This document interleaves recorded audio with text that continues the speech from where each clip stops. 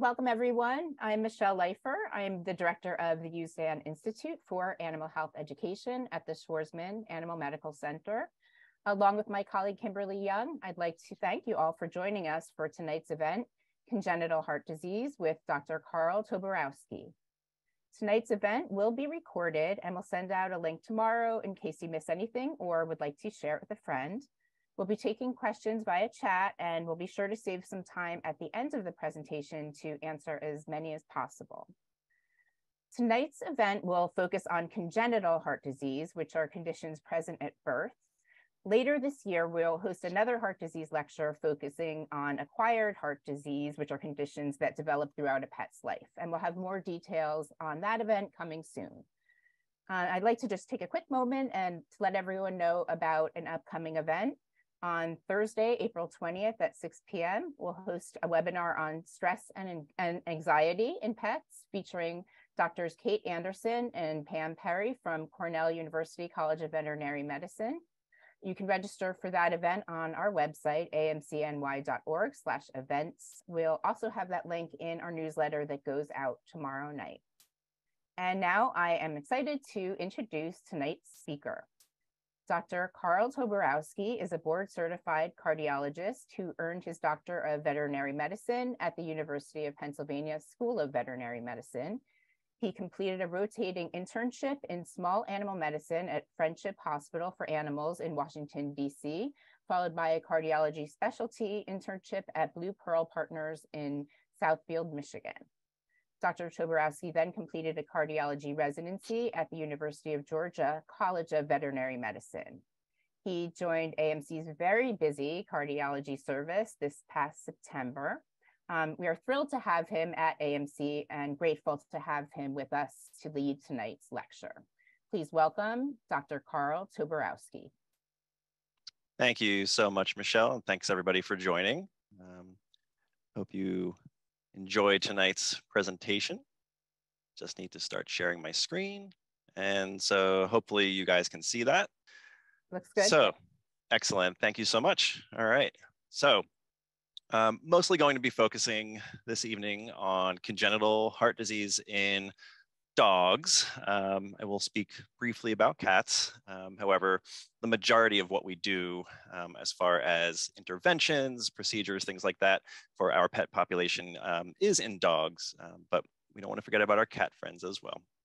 So essentially the outline of how this is going to run is a little bit of a discussion about just what is congenital heart disease in general um, what does that even mean and of course you know that would be um, we would definitely need to talk about what normal is before we talk about abnormal. So kind of a discussion about what the normal cardiovascular system entails. Um, and then of course, probably questions that you guys have as far as, well, when should I take my pet to see a cardiologist? Um, when is that indicated? And then move on to what are the types of congenital heart disease that we see in our pet population? Um, and mostly the focus will be on structural heart disease. So you know, the, the types of diseases that are going to affect the actual heart uh, shape, structure, size itself.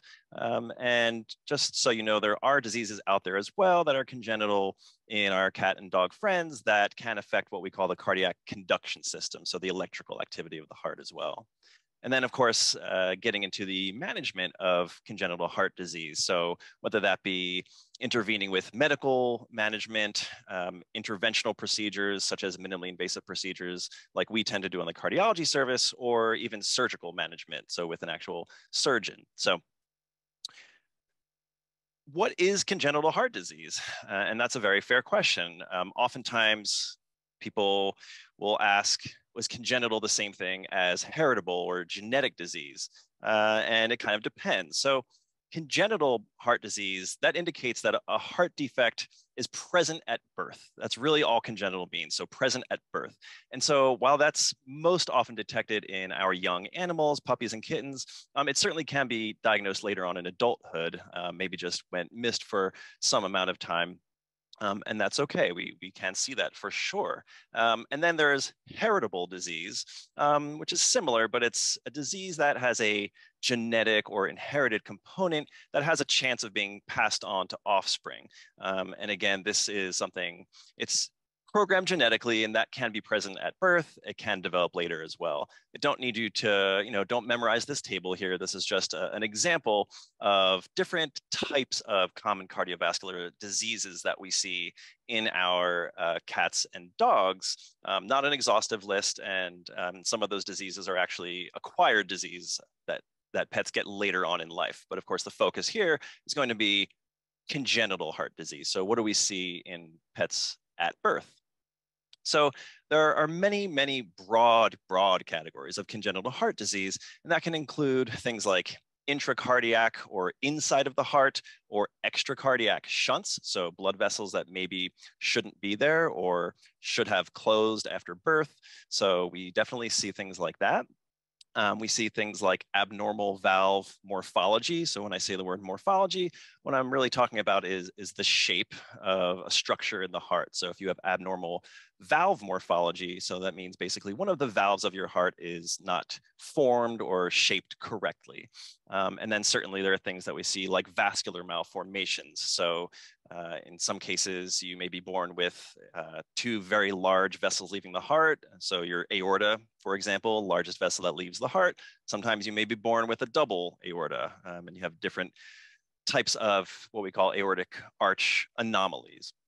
Um, so quite a wide range. Um, and this range of anomalies that can occur during development of the heart, and that can lead to simple defects, complex defects, um, varying degrees of severity, um, and clinical presentations. And that can include things like heart failure, cyanosis, so basically turning blue um, due to lack of oxygen.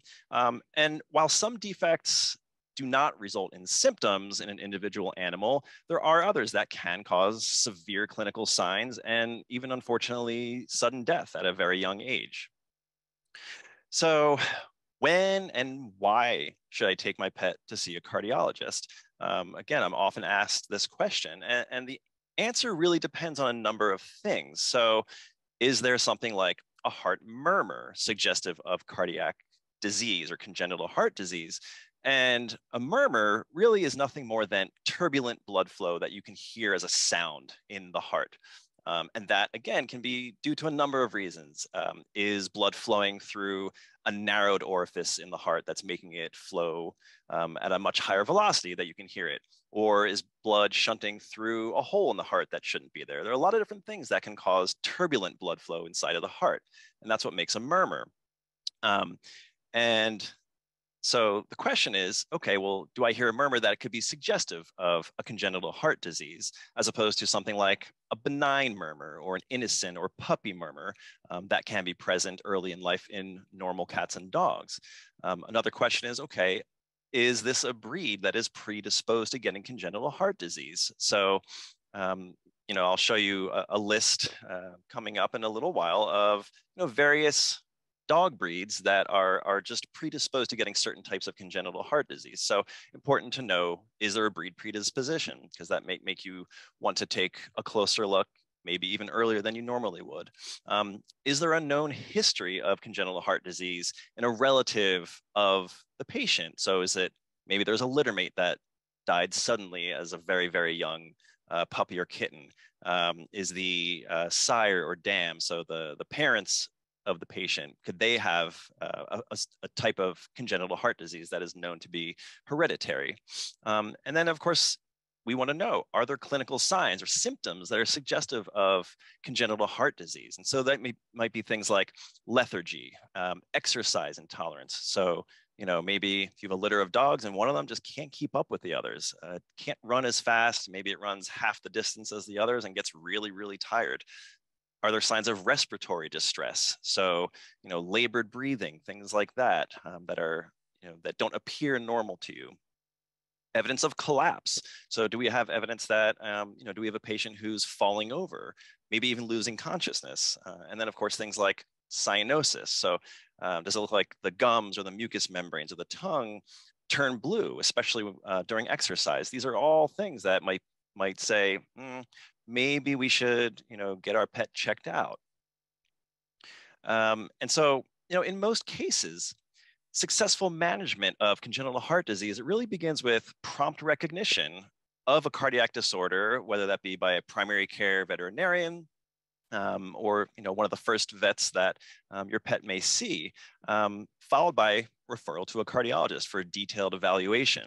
Um, in the majority of situations, the definitive diagnosis of something like congenital heart disease, it can usually be attained in a non-invasive manner with something like an echocardiogram, so an ultrasound of the heart. In most cases, there are types of complex cardiac or uh, congenital heart disease. Uh, however, that you know, if you have something like vascular malformations um, or you know multiple levels of defects, uh, so just what we refer to as complex congenital heart disease, um, that may re require advanced imaging techniques. So things like CT scans, um, MRI, um, cardiac catheterization in order to get a definitive diagnosis and get a more clear idea of what's going on. Um, and some forms of congenital heart disease require no treatment at all and may carry a favorable prognosis depending on the severity or, or just what it is. Um, and then other defects may be amenable to definitive therapy um, or at least some sort of palliative treatment. So it's important to understand if we're to talk about what can go wrong, eh, you know, it's very important to know well what what goes right what should happen um, once we're born. Um, and you know aside from very very minor details our heart and the heart of a cat or a dog is is very very similar. And so we can use this schematic that i'm showing you here as far as um, demonstrating the normal cardiovascular system. And if you just follow the arrows um, that'll that'll really help you as far as you know tracing a, a drop of blood through the heart. And so we'll start on the right side of the heart, which is actually the left side of your screen in the blue area. So this is your right atrium on that left side of your screen.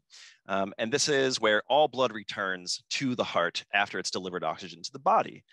And then if you follow the arrows through this right atrium, you go across your tricuspid valve into your right ventricle.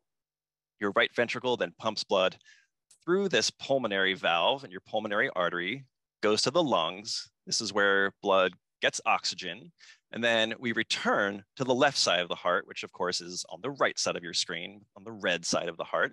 Um, that goes into your left atrium, that top filling chamber there, into the left ventricle as it crosses the mitral valve. And then that left ventricle, it's the main pumping chamber of the heart, which then squeezes blood across your aortic valve, out your aorta, and then delivers blood to the rest of your body.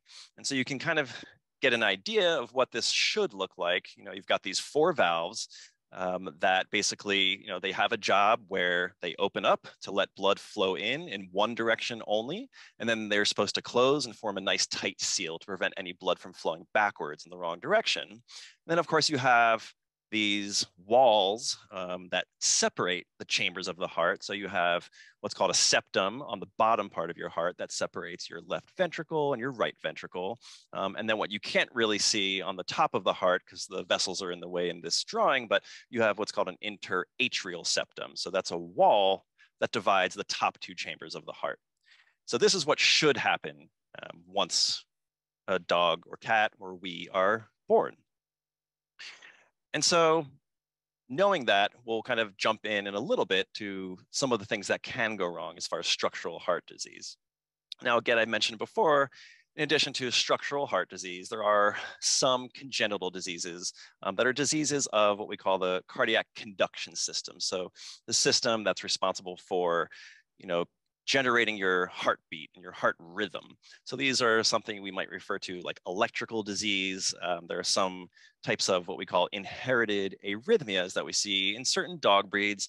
They're certainly not as common as what we see um, as far as structural heart disease, but it, I did want you guys to know that this is something that does exist. Um, and so potentially, you know, if there is an at-risk breed, that is something we may talk to you about, um, you know, if we see one of those breeds when we're, when we're doing an evaluation. No need to memorize this, but this is just kind of a, a flow chart of the different categories of structural congenital heart disease.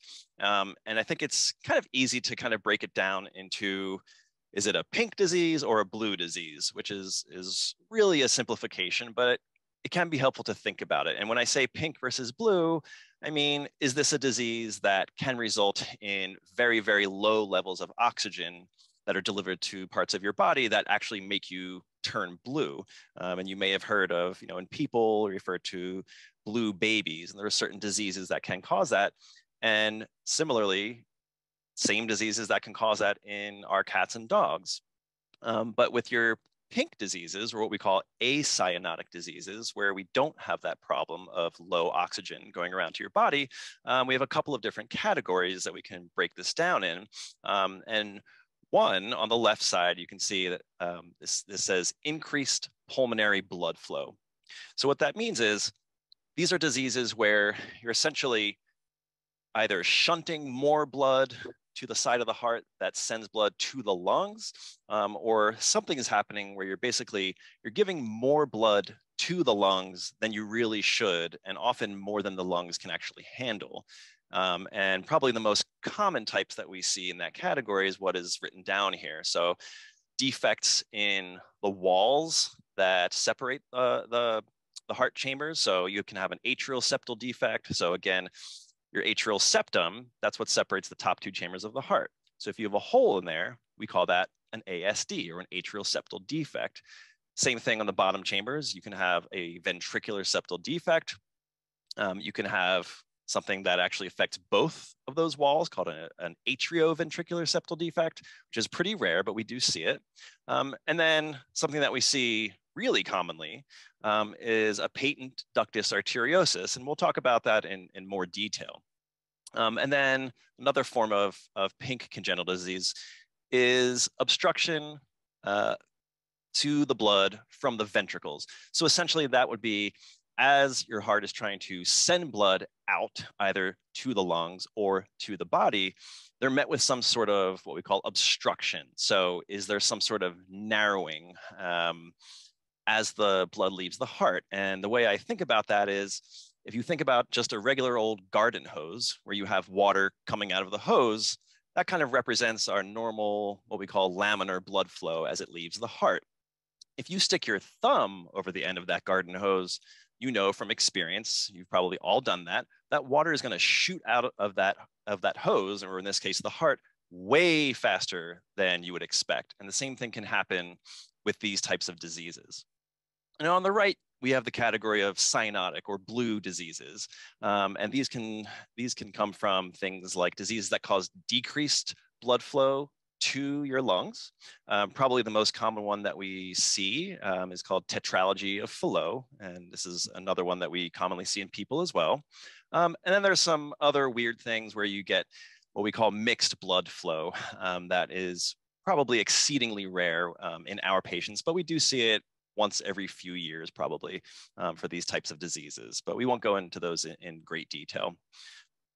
And then I did mention, of course, there are some what we call congenital heart arrhythmias, um, and you know, don't don't freak out if you see your dog breed there. Um, these are again, these are pretty rare, um, but there are some types of inherited what we call ventricular arrhythmias. You know, there are types of mutations that we know of um, in some of these breeds, English Springer Spaniels, Rhodesian Ridgebacks, and probably more commonly, but again, not super common, German Shepherds. Um, and then similar to people, there are things like um, what we call accessory pathway uh, arrhythmias. But again, these things are pretty rare in our patients and um, probably won't be spending much more time chatting about these unless you guys have questions about them in the end. So we're often asked, okay, so what are the most common types of structural heart diseases that we see in dogs and cats. And really it depends on what year you're asking that question and you know what paper or research you're going to refer to to answer it. Um, I would say I probably agree with what we're showing here. Um, in this image where um, you can see this pie chart on the right where it has you know, a number of different types of congenital heart diseases that we see in dogs. Um, and most commonly what you're seeing on these this uh, top three list here, I would agree with. So pulmonary valve stenosis, or what we used to call pulmonic stenosis, um, that's probably the most common that we see. And then patent ductus arteriosus is number two, and then what we call subaortic or a form of aortic stenosis is number three. Number one and two, we're going to spend a lot of time talking about tonight. Number three, um, we we won't, and mostly that's because not not because it's not an important disease, but I would say mostly because number one and two is probably those are the most common diseases that we are able to intervene um, with interventional catheter-based procedures. Um, subaortic stenosis, we do have procedures um, that we have performed for that disease, um, but it's way more uncommon to do that type of procedure. Um, and really, it's more of what we refer to as a salvage procedure or, or palliative care um, when there's really no more options for that disease. So we really will focus on those top two um, moving forward. Um, again, this is kind of a more recent paper that has come out recently in the last few years where, um, you know, this was done in one center over 20 years in Italy at about looking at 1,800 dogs and 20 years with congenital disease. Um, but again, even in Europe, they are finding that the most common, the three most common structural heart diseases for, for congenital disease in dogs are PS or pulmonary stenosis, PDA or patent ductus arteriosus, and subaortic stenosis. Um, and when we talk about what breeds are predisposed to getting these, these diseases, you're, you're going to see there's a lot of repeat offenders. Um, and it doesn't mean that, you know, if you have one of these breeds, um, that there will be a problem. But if you do have a breed like, you know, we see a lot of boxers, German Shepherds, English and French Bulldogs, um, there are a lot of these breeds that are unfortunately predisposed to getting a lot of these diseases. Um, and some of these breeds will get multiple of these diseases and sometimes even at the same time. Um, so definitely important, you know, as to one of those questions of when should my pet see a cardiologist? Well, if we have evidence that there's a heart murmur and you're one of these at-risk breeds, certainly it's probably, it would probably behoove you to, to you know, have a, a consult at some point in, in puppyhood. This is just another uh, short, short table as far as, um, you know, this is probably almost 20 years old now, this chart, but again, um, these are the most common breeds that we see for certain congenital diseases. So uh, PDA or patent ductus arteriosus for sure. You know, if you're a type of poodle, um, we certainly see that quite often. Um, subaortic stenosis, uh, you can see Newfoundlands or Newfies, they're probably the, uh, the poster child for that type of disease. Um, but definitely important, you know, if you do have one of those breeds, maybe have them um, checked out um, if there's a murmur for sure. Cats, again, um, we do have, um, you know, we have interventional procedures that we do on cats, but I would say that's much, much less common than the procedures that we do on dogs. But cats are very, very important as well. Um, it's important to recognize that, yes, cats can have congenital cardiac disease. Um, it's important to recognize these. Um, cats, um, I would say for the most part, the number one disease that um, is at least reported in cats is what's called a ventricular septal defect. Again, so typically a, a small hole um, in the wall of muscle that separates those bottom two chambers of the heart. Um, and then you can see I did not list a two, three, four, five because we're kind of all over the place as far as you know what what are the number two, three, four diseases um, that we see in cats. And I think the problem with cats is they're so good at hiding disease um, and also murmurs in cats, um, they can be really difficult to actually interpret without doing something like an echocardiogram. Um, you know, if you look at what's been done in cats as far as uh, the research on cats and murmurs, something crazy like half of cats walking around with heart murmurs don't actually have heart disease and vice versa. Um, and so I think we're probably underdiagnosing some of our cat friends as far as, as congenital heart disease. Um, but I would say for sure, um, a VSD or ventricular septal defect is probably the most common. And as far as intervention, um, you know, we certainly have, have intervened with minimally invasive procedures in cats who have pulmonary valve stenosis um, and, and PDAs or patent ductus arteriosus.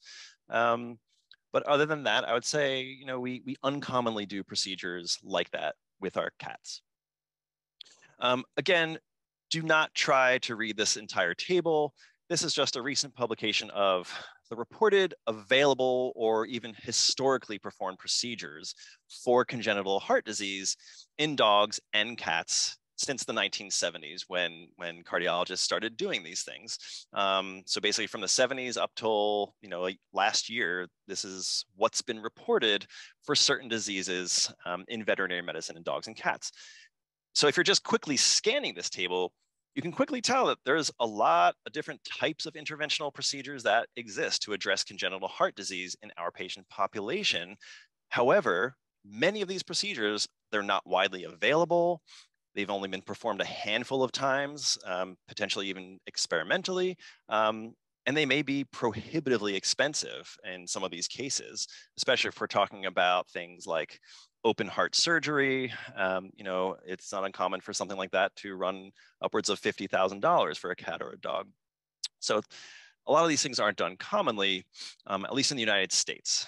Um, and because of these reasons um, that we don't do these as commonly, um, what I'm going to do is focus the talk um, on the most common and widely available procedures that we do routinely as cardiologists. Um, and so it's important, you know, every single patient we see is an individual, and there, we don't make blanket statements as far as all cats or all dogs with this should have XYZ done. A lot of this really is going to depend on a lot of things. And so these are just some factors that are going to influence our decision making process when we evaluate a patient who has congenital heart disease. So, anatomy of the congenital defect. So, what is it? Where is it? How severe is it? Is it a mild form of the disease or is this pretty severe? Um, how big is the patient? Is this a, a still growing, you know, 16 week old patient who only weighs you know a pound or two and that's going to be really important for us to assess because if we're going to try and do some sort of interventional procedure we need a, a, blood vessel that's big enough for us to access the heart because the way we access the heart as cardiologists is through something like a jugular vein or a vein in the inner thigh, like a femoral vein or an artery. And those need to be large enough um, for us to actually be able to, to get in and, and access the heart. Not always possible if the patient's too small or too young. Um, is there presence of concurrent disease, whether that be concurrent congenital heart disease or is there con concurrent systemic disease? Um, and so, you know, sometimes if we get to a patient that maybe was not diagnosed with a, a heart disease until later in life, could that patient have other things like diabetes or other endocrine disease or something that is going to make that patient maybe not as good of an anesthetic candidate? Um, is there need for advanced imaging to characterize the anatomy of the defect in question? So sometimes we say, okay, well, we see what the primary problem is, but maybe there are some other vessels that we're just not quite sure of. Um, are there structures outside of the heart that could be influencing our decision-making process that you can't see with just a regular echocardiogram? Um, and so you might need something like a CT scan to, to see that before we move forward and say, yeah, I think this is something we can address. Um, is there procedural availability? So um, are we even available to, to do a procedure like this?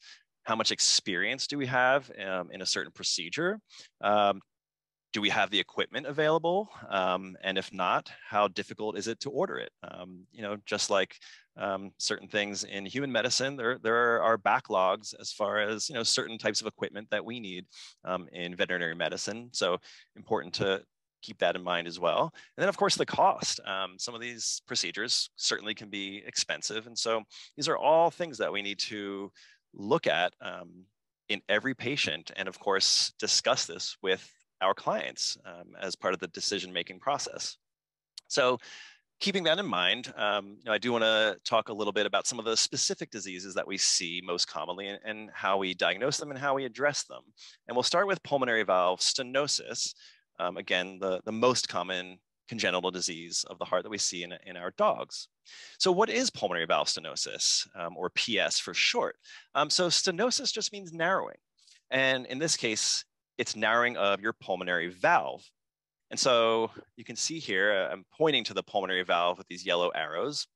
Again, this is the valve that's going to separate the right ventricle from your pulmonary arteries and your lungs. So your right heart has to pump against that valve in order to get blood to your lungs. And when you have pulmonary valve stenosis, that just means if you look at that valve on the right side there, there's a little zoom in there.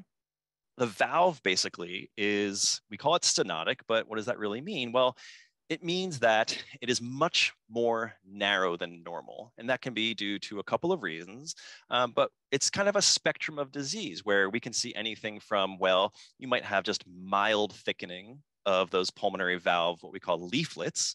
We've got these three little leaflets that basically form this valve.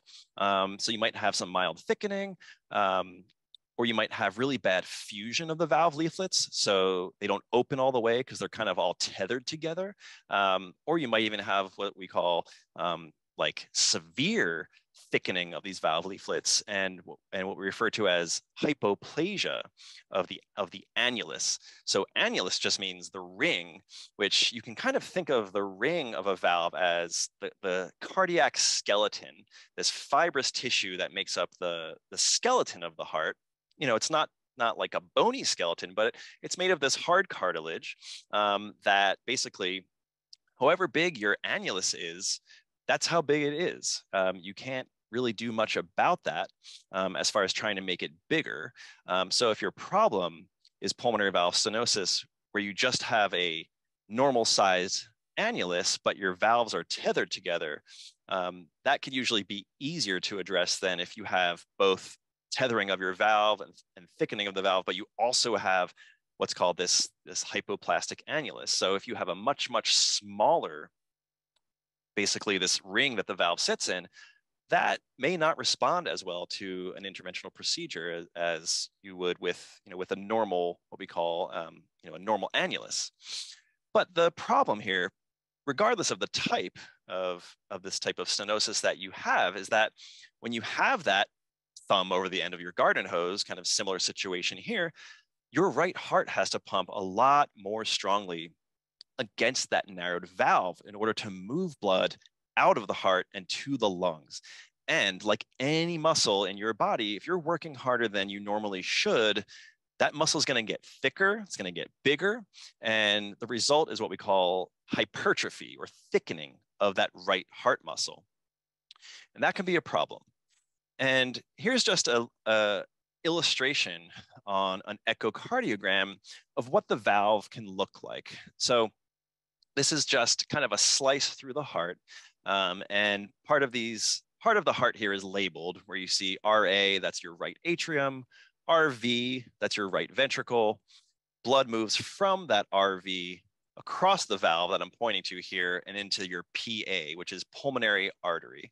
So the arrows pointing on this left illustration, the arrows pointing to what we call a normal pulmonary valve. Might not seem this way, but um, take my word for it. This is a normal valve with nice, thin, crisp pulmonary valve leaflets. If you look at the center picture here, this is an illustration of what we call leaflet fusion. So this is kind of more of a, a, a, mild form or mild to moderate form of the disease where the valves don't open all the way, but you have a normal size of, of that pathway or that annulus where blood leaves. So there is a problem with the valve in that the leaflets are kind of stuck together, um, but the actual annulus or that cartilaginous skeleton of the heart is normal, as opposed to on the right side, this is what we call annular hypoplasia. So really, it's not so much that the valve leaflets in this case are thickened, but the actual skeleton of the heart is much more narrow than normal. And again, like I said, that, that can pose problems if we're trying to kind of open up this valve with a procedure where we would have a, a, balloon across the valve and kind of open it up, you might not have as good of a result um, in that case. And you might see it says type A and type B um, at the top of those images there in the middle and on the right. Um, and this is kind of an older way of how we used to classify this disease where we would say, okay, well, type A, you just have this fusion of your leaflets. Type B is more of, well, the valves are really thick and you have this more of a narrowing of the cardiac skeleton. But we know we know now after after years and lots lots of data and research that really this is a, a spectrum of disease, um, and it's really not your type A or type B, but really you can kind of fall um, in any sort of range of these categories. But it's important to know.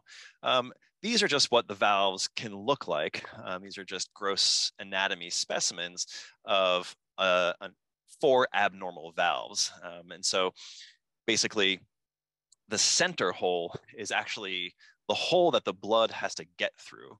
Um, that outer hole is what the valve should normally look like.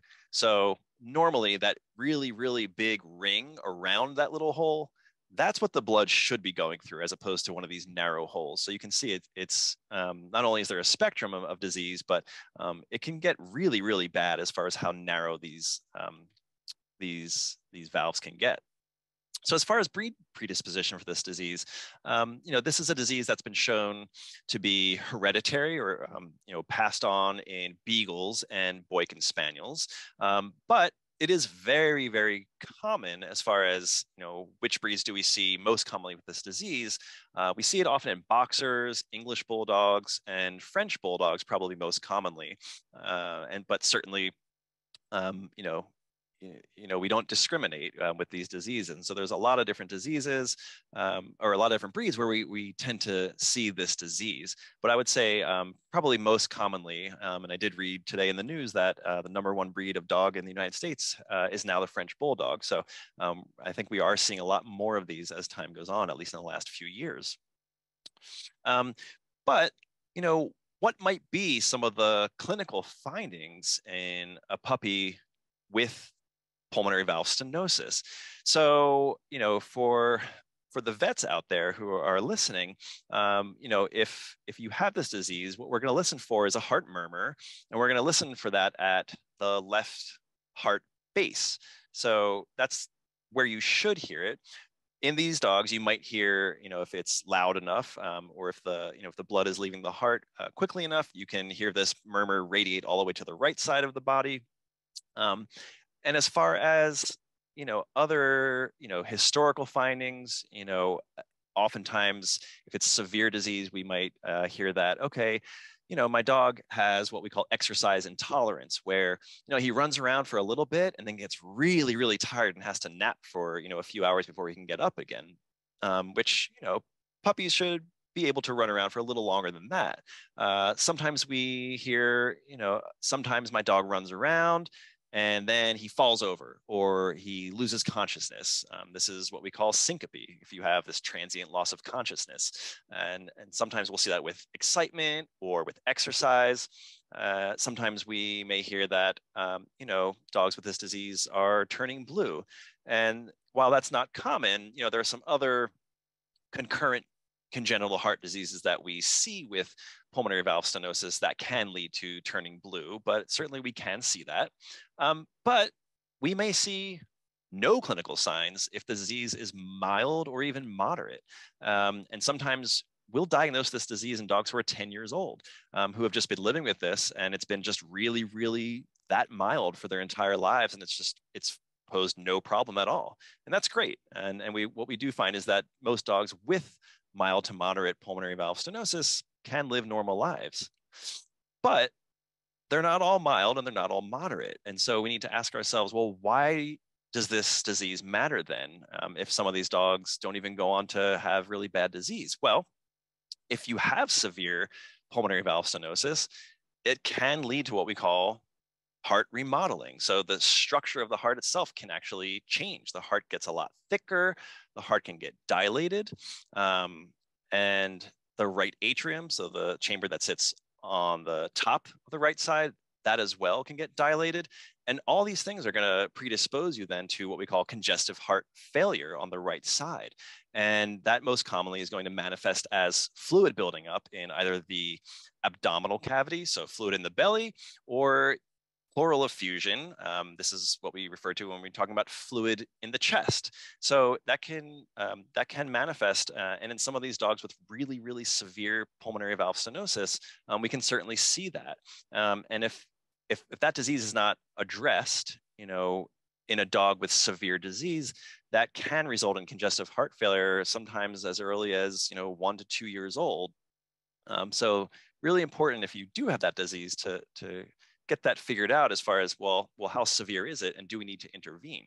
Um, and then in, in the really severe spectrum of clinical signs with this disease, you can see things like heart arrhythmias, so abnormal heart rhythms, and even sudden cardiac death, which I would say is a lot more rare with this type of disease, but we certainly can see it. So how do we go about diagnosing this disease? Um, so you know, you'll see I have plus or minus radiography, so that would be x-rays, uh, and then echocardiography, angiography, and then plus or minus some sort of advanced imaging. And I would say radiographs or x-rays, they can be helpful, but um, as far as how do we really diagnose this disease, um, you know, we, we tend to really rely on, on echocardiogram, so ultrasound of the heart. Um, but, you know, if a puppy has a murmur that, um, you know, we're not quite sure what it is, uh, and, you know, if you're a primary care vet and you say, well, I hear a heart murmur, um, I think the first thing to do would be take some chest x-rays. That is absolutely the correct thing to do. Um, and while it may not show what's going on on the right side of the heart, you may see something like what we're seeing here. The arrow is pointing um, to, this is a very severely dilated, what we call pulmonary artery on the right side of the heart. Um, it may not look obvious, but that's something that we might look for that would be suggestive of disease like this. Um, but if we do see that for sure, this is a case where we would say, yeah, I think it's time for, for this dog to see a cardiologist. So the gold standard for diagnosing this disease would certainly be an echocardiogram. Um, and what you might see, like, like what we see here in this image, is a severely dilated um, and thickened right ventricle. And that's what we're seeing on the, the top here.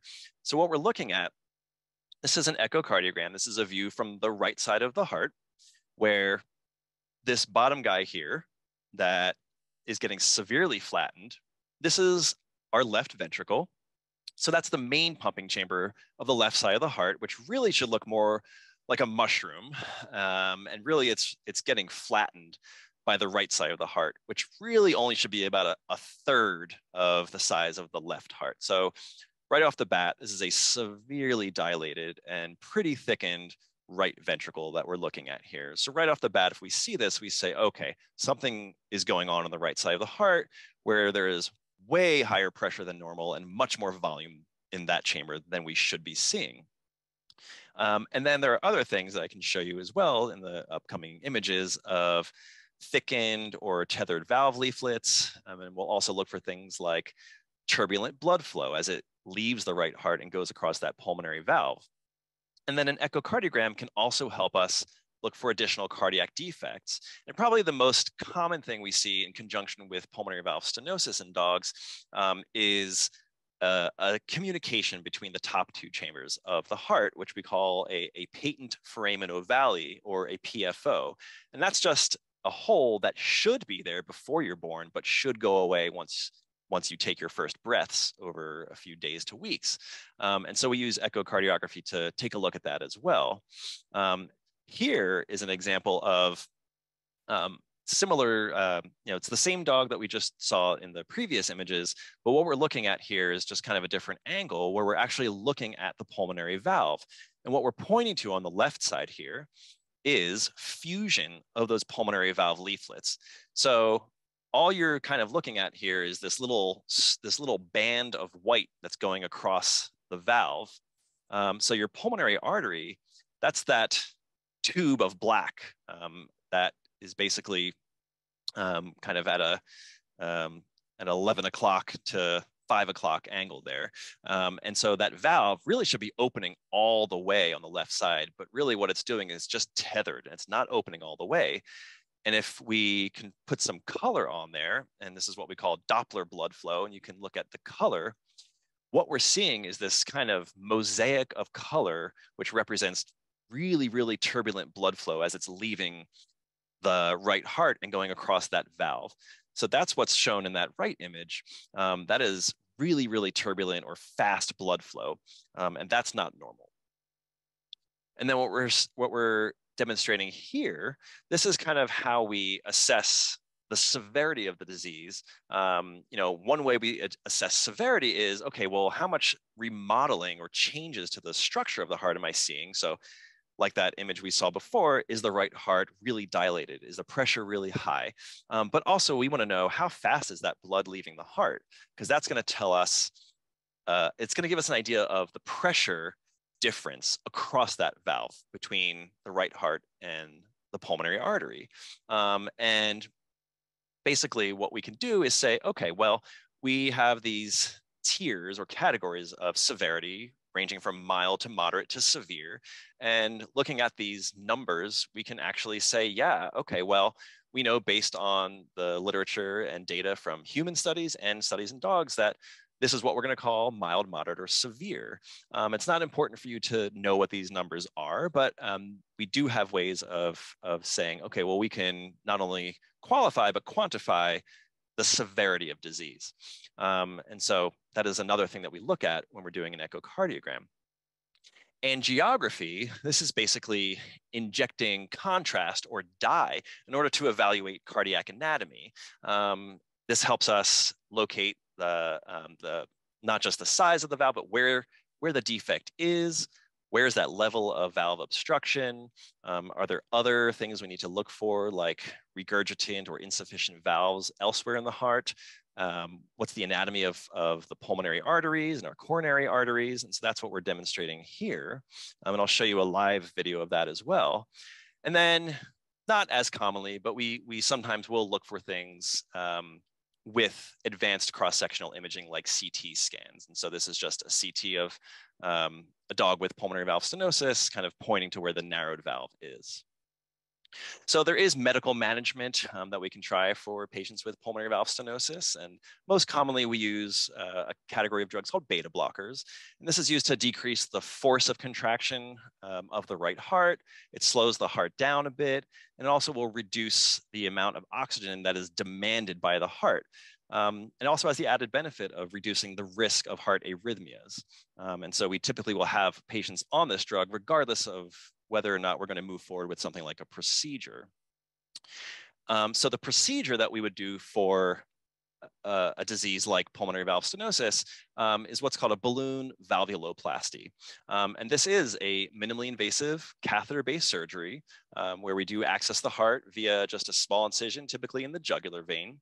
And what we'll do is we'll position a balloon that's deflated across the narrowed valve and then inflate it. Um, and the goal of that is really to really tear those valve leaflets apart um, so they're not as narrowed anymore. And we want to reduce that pressure difference um, across the valve. Uh, and the goal of that really is, is, to reduce the workload of the right ventricle, um, stop or even reverse the amount of changes to the heart as far as the structural remodeling and changes, um, and even resolve or at least mitigate the risk of cardiac arrhythmias um, and heart failure. Um, and even in some cases, um, get some of these dogs off of medication. And so this is actually one of our patients that um, we took to the uh, catheter lab uh, just a month ago. Um, and what we're seeing here, this is an angiogram where we've injected some contrast or dye into the right side of the heart. Um, and what that middle um, arrow is pointing to is the obstruction. That is where the valve is narrowed. Um, and that's what we want to address uh, by putting a deflated balloon there. Um, and what we do is we are able to actually measure very precisely, you know, how big or how narrow is that obstruction. And that helps us to actually pick out the appropriately sized equipment. So what we're demonstrating here is a balloon that is now being inflated across that stenotic valve. So we're inflating, inflating, inflating. And as you can see over time, that little hourglass or that waist it goes away as we're tearing open those valve leaflets. Um, and that's exactly what you want to see in a procedure like this. You want to see that completely go away. Um, and that's what we achieved in this particular dog, which is great.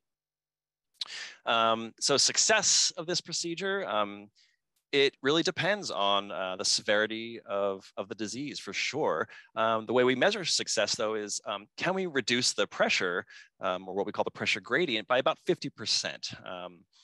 It's great if we can um, or get you know, reduce the, the severity from severe even to mild or moderate category of pulmonary valve stenosis. Um, because like I said earlier, dogs with mild to moderate disease can have a, a very favorable long-term prognosis um, and live basically a normal life. Um, there are certainly complications to a procedure like this, um, and um, that goes from you know procedure failure. Maybe we're not able to do the procedure because the valve is just too narrow, um, or we do the procedure and the valve restenoses or it becomes narrow again, you know, a few months or even years after the procedure, um, or we may not even be able to do the procedure just because of other comorbidities. Um, and probably the most common thing we see in terms of that would be something like uh, an anomalous or an abnormal vessel that kind of wraps around the very area of the heart we have to balloon, which would make it dangerous to do that. Um, you know, there are other interventional procedures that exist. Um, you know, there are stents. Um, so basically, you know, metallic, um, you know, tubes that you can expand and inflate at the level of the valve uh, to kind of open up the, um, the narrowing. Um, of course, there are risks with that procedure as well. Requires a lot more advanced training. Uh, there's a little bit more of a risk when you do a procedure like that because um, you are leaving something behind that can migrate, it can fracture. Um, and then they've even tried valve implantation. Um, the problem with that is, you know, just to buy the valve itself um, is about $30,000 just for the valve, uh, not including the procedure. And it's only been done one time in a dog. Um, but these are areas of, of future um, avenues for sure for research. Um, patent ductus arteriosus, just because I want to um, make sure I get to this as well. Um, again, it's the, the second most common disease that we see in our patients. Um, and essentially, what this is, is, uh, you know, uh, uh, the ductus arteriosus, this is a normal structure that you should have um, before you're born or in utero um, that helps carry blood basically away from the lungs because we're not using our lungs, they're not inflated yet before we're born. So you have a blood vessel basically that takes blood from the right side of the heart, skips the lungs, and then goes out to what we call your systemic circulation. So that brings blood to the body um, and delivers oxygen and nutrients without going to the lungs because you're getting lung you're getting oxygen basically from the placenta from your mother before this um, and basically what's keeping this this vessel open is low levels of oxygen and high, what we call circulating prostaglandins, which is, you can kind of think of it as a type of hormone. So these two things are kind of keeping that open, um, but we don't want that to remain open after we're born.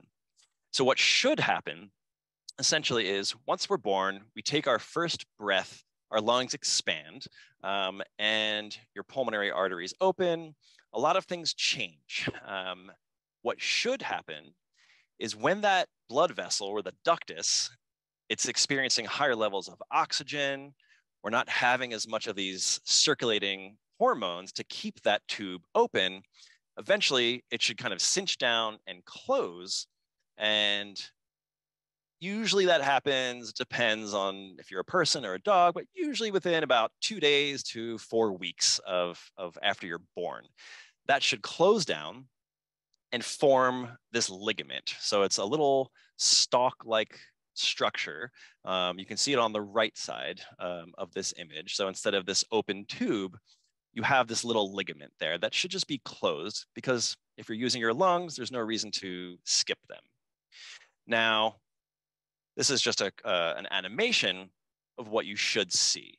So the blood vessel should no longer be open or patent um, and it's shriveled down to that little stalk-like ligament. In dogs and in people, sometimes you can get failure of this ductus to close. And so when we say patent ductus arteriosus, patent, it just means open. It failed to close. Um, and again, the, the reason that this fails to close um, is sometimes in dogs, um, you just don't have enough smooth muscle lining that blood vessel. If you don't have smooth muscle that lines the blood vessel, that's going to prevent its closure. So if you have the normal amount of smooth muscle, that's kind of the, you know, surrounding that inner part of that blood vessel, that is what allows it to kind of cinch down over time and close. But in some dogs, they're lacking that muscle. And so you just end up with this funnel shaped open blood vessel that never fully closes. And that can become a problem. Why does it become a problem? Well, you can see from this image here, this is basically just looking at the vessels that leave the heart. So your aorta is on top, your pulmonary arteries are on the bottom, and that's what goes to the lungs. If you follow the arrows, what you can see is blood is going from the aorta and then through that open ductus and then goes off to the lungs. So the lungs, unfortunately, are getting much, much more blood than they should. So that's what we call over circulation. We are over circulating the lungs. And that can become a problem because if you overload the lungs, that can lead to congestive heart failure, severe dilation of the left side of the heart, arrhythmias, and in some cases, you can actually even switch the direction of that PDA or patent ductus arteriosus so that you have blood going from the right side to the left side. And that's its own problem as well. Um, but basically, no matter what, this can become a huge, huge problem. And if left unfixed, most dogs, about 64% of dogs, will not survive to about a year of age. So, breeds that are predisposed, really, these are kind of the smaller breeds like Bichons, Malteses, Pomeranians, um, but again, it can affect any any breed at all. Um, it does tend to affect females more than males, um, and we do see it across a variety of species as well. Um, and as far as heritability or genetic component, um, it is documented to be heritable in toy poodles and, and miniature poodles. Um, the most common thing that you'll see um, as far as exam findings um, is, um, you know, you might see a dog that is often asymptomatic, does not have any clinical signs, but then, you know, you might hear, oh yeah, but I think he coughs a little bit every once in a while. He tires easily, um, but you may even hear, you know, hear somebody say, "Oh yeah, he's got labored breathing." Uh, you know, I'm concerned, um, and and that's definitely concerning, especially um, if you hear what's called a continuous heart murmur.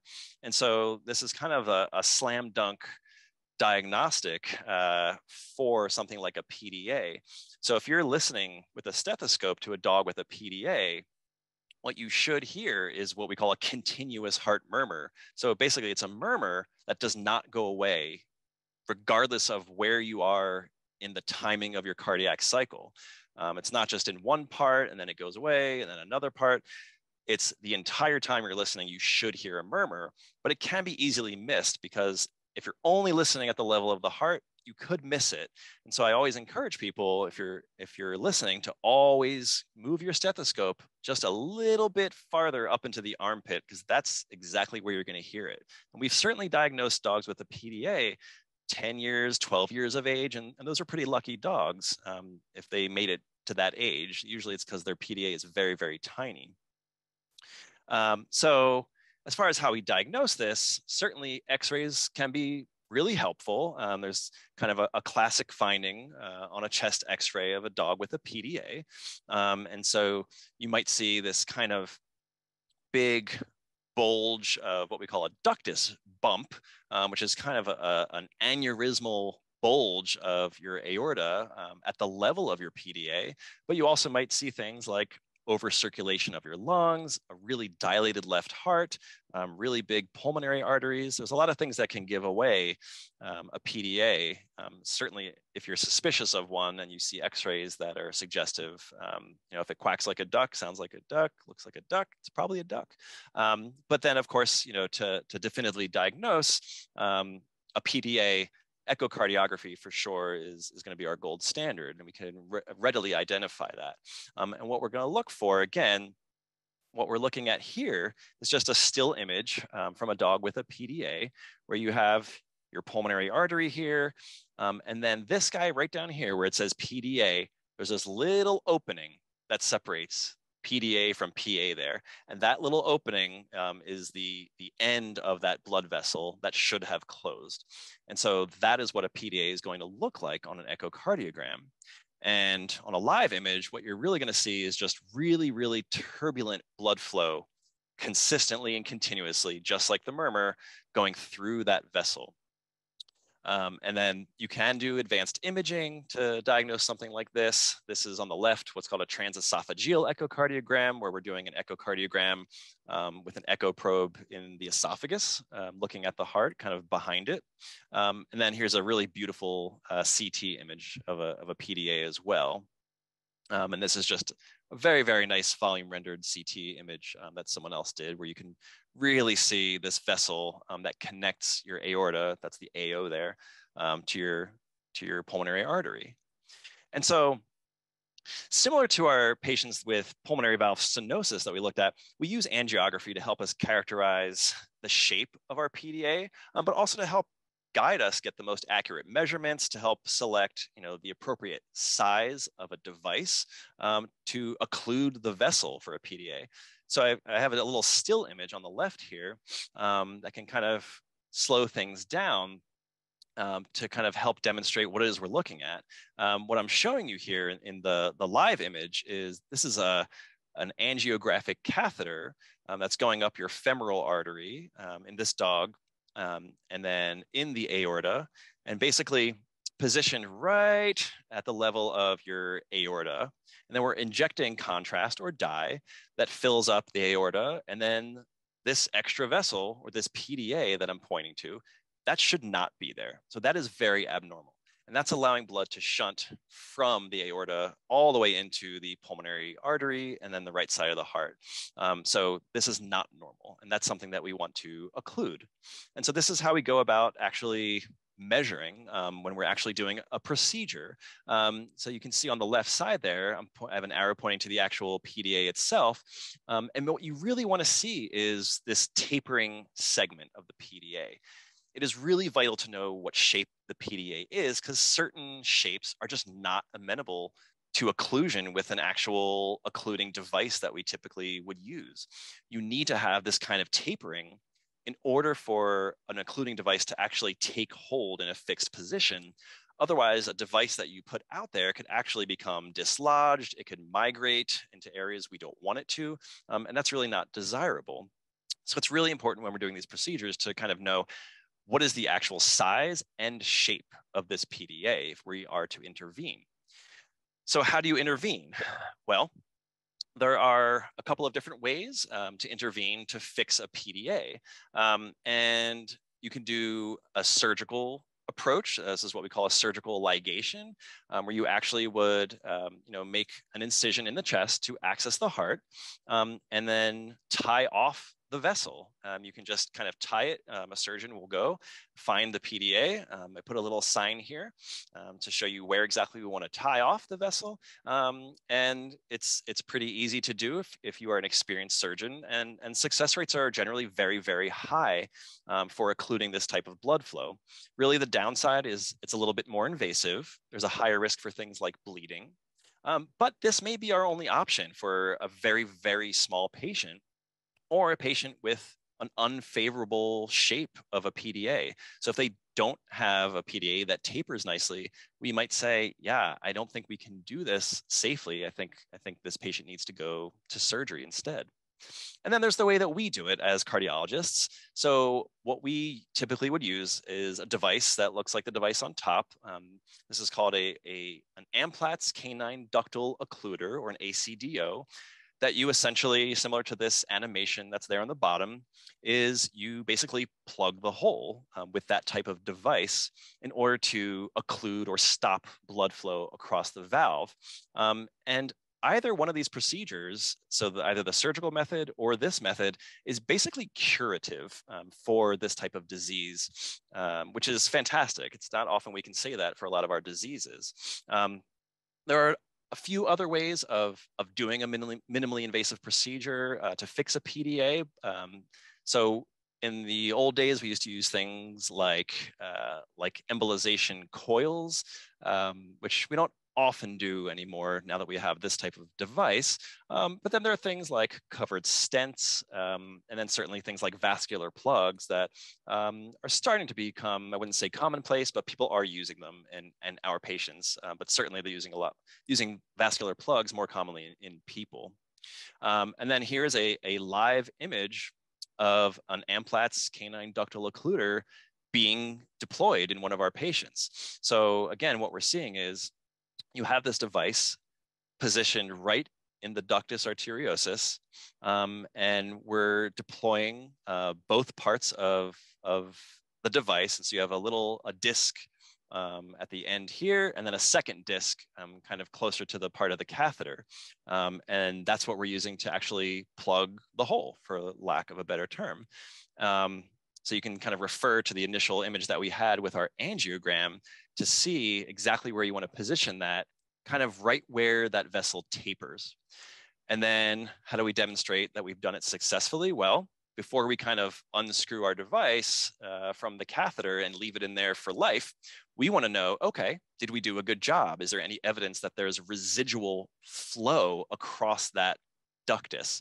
And so what we do is we inject another puff of contrast to demonstrate that we've completely occluded blood flow across it. And once we're satisfied, like I am here in this patient, we unscrew the that long uh, catheter from the device and we leave it in there for life. Um, and basically this is curative. And this is a post-op x-ray of one of our patients um, with the device in place right where it should be. So really the prognosis for a disease like this after intervention um, is outstanding. Um, long-term survival prognosis is great if you can um, intervene, um, you know, before it becomes a big problem. So before you have uh, things like congestive heart failure or reversal of the direction of your PDA, um, this is considered to be basically curative. Um, of course, you know, clinical signs, concurrent congenital heart disease, um, or if you have insufficient valves elsewhere in the heart, um, that can be negatively associated with long-term survival. So this is one of the diseases where we say, if we can intervene a little sooner rather than later, I think that would be ideal. Um, again, there are certainly other diseases that we see, um, you know, commonly and some that we see less commonly um, that we didn't really discuss tonight. Um, and while there are interventional procedures available for, for maybe not all, but most of these diseases, we as cardiologists may not recommend performing them um, either due to lack of data that would demonstrate improved outcomes or improved quality of life, um, or even data that demonstrate um, any sort of change in long-term survival. Um, and in some cases, we might just recommend medical management of some of these diseases, especially if it's maybe not severe or if it's not causing clinical signs and symptoms.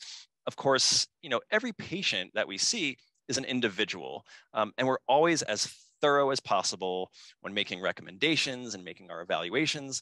And you know, our goal is to always ensure that our clients are as well informed as possible to help guide them to make decisions for their loved ones.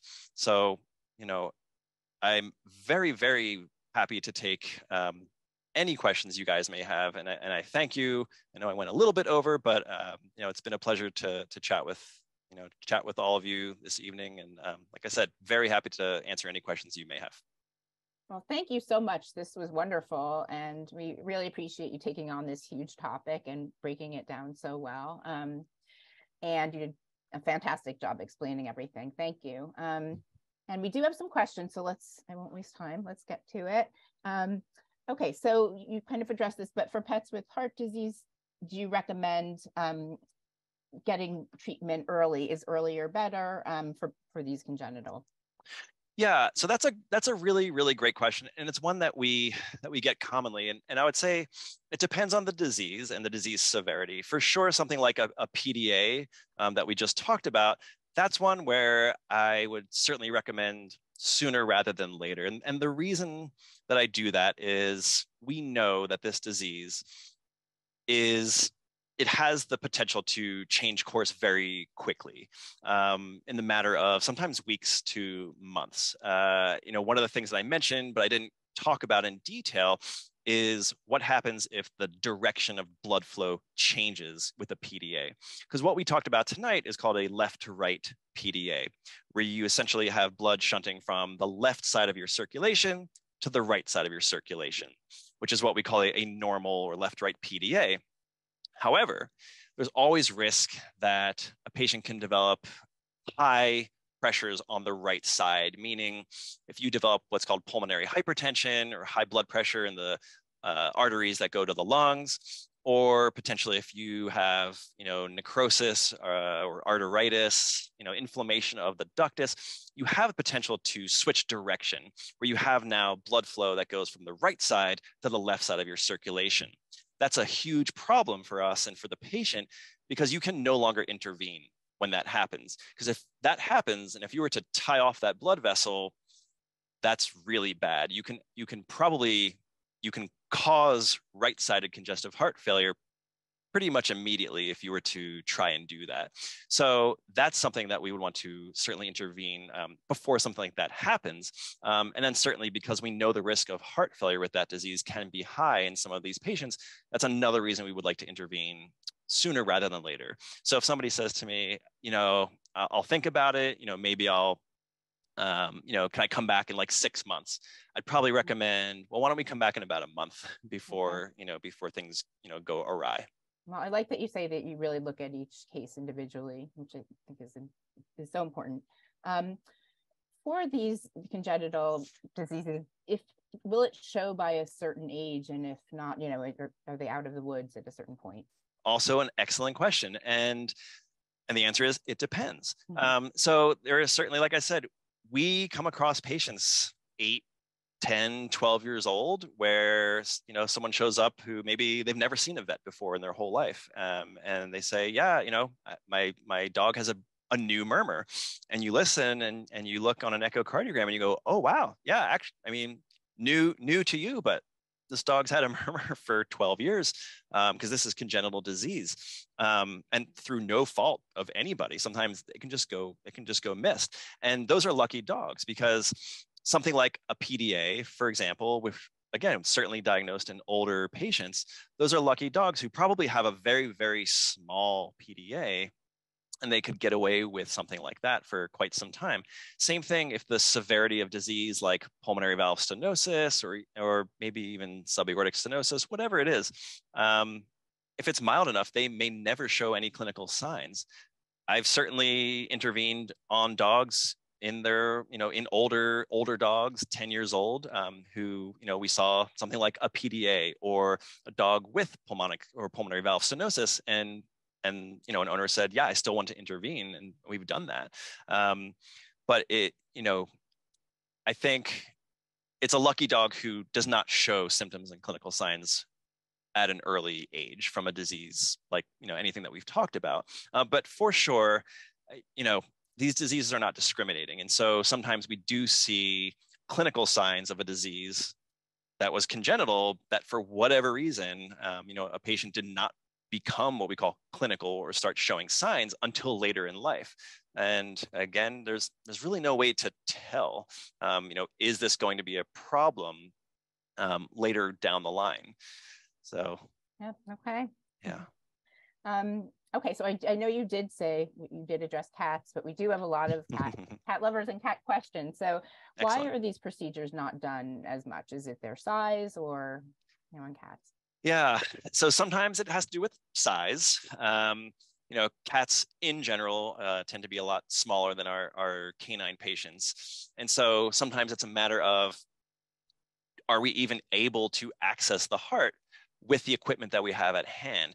Because again, one of the things we have to assess when we're making decisions is are we able to access the heart in a minimally invasive manner. So usually that's through an external jugular vein or a vein like the femoral vein in the inner thigh. Um, so that's certainly one thing to think about. I think another thing is we don't commonly see these diseases in cats in the clinic as often as we see it in dogs. Um, we probably see, you know, we see congenital diseases in dogs weekly um, you know, and, and, certainly depends on your geographic, you know, wh- where you are practicing in the country or the world. You know, when I when I lived in the South, um, it would be unusual to have two days go by where I didn't see a congenital heart disease. I think in New York, it's a little bit different. Um, but certainly, we probably see, you know, one every week to ten days. I would say, cats um, much more rare. Um, and again, you know, I, I think whether that's due to is it a bias because fewer people tend to bring their cats to the vet to be seen, which that that certainly I think is a thing. Mm. Um, are cats showing clinical signs as readily as dogs are? You know, we don't often see cats. Uh, we don't take them for walks often. Um, we don't. It's not often that they run around, you know, like crazy in, in the yard and they get exercise intolerance. So it it may be something that's just not recognized. I think I think it is unrecognized. I think there are way more cats out there than we know that have these diseases. So I think size is one thing, not recognizing it or seeing it is another thing. Um, and then, you know, I, I think do we have the equipment available if it is something like a very very small patient but we certainly see it um, i would say um, probably the most common thing that we tend to intervene on would be something like a PDA in a cat, um, and then maybe like uh, pulmonary valve stenosis in a cat. But again, it's it's just not done as commonly. And also for that reason, you know, we don't have a lot of data to say, you know, what is going to change. Uh, you know, first of all, what are the long-term survival data for cats if you intervene, if you don't intervene, and so it's not as you know robust as as the data that we have for dogs. Okay, that's fair. That's fair. Yeah. Um, thank you for addressing that. Um, Mhm. Okay, so for pets with heart disease, do you recommend dietary or exercise restrictions? Excellent question. Um, so dietary, I would say depends, but it, the way it depends is, um, you know, in in people, I think we tend to focus a lot on things like sodium restriction, as far as the types of heart disease that humans get, mostly when they're older. Uh, you know, we don't typically have the types of acquired heart disease like coronary artery disease, atherosclerosis, things like that, um, where we need to say, don't eat salty foods, don't eat hot dogs and cheeseburgers every day. You know, these are cats and dogs eating cat food and dog food. Um, the only thing I will say as a caveat to that is the data are still out there.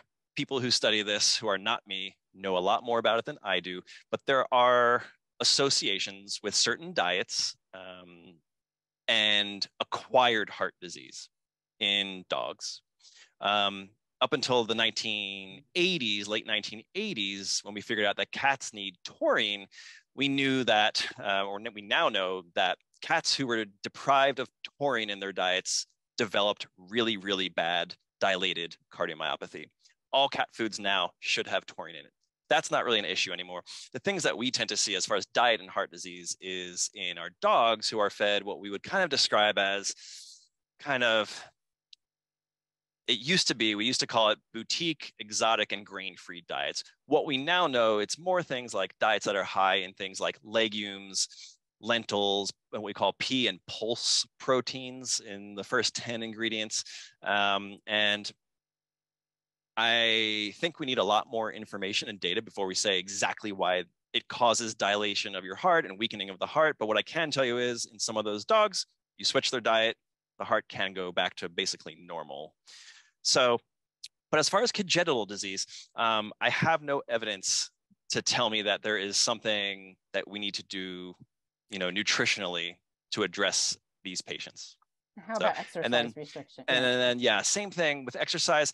So, exercise restriction is certainly something that we may recommend for different types of disease. So, for example, some of the diseases that are like cyanotic or blue baby diseases that we see, so things like I didn't talk about it, but tetralogy of Fallot, or diseases where you have shunting of blood from the right side of your body to the left side of the body.